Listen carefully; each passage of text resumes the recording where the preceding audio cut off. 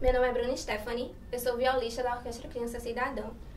O concerto que eu vou falar para vocês é de Telemann, em Sol maior, feito para viola.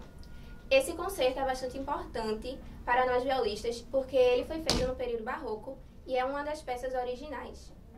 Esse movimento ele contém, esse concerto ele contém quatro movimentos: o largo, o alegro, o andante e o presto.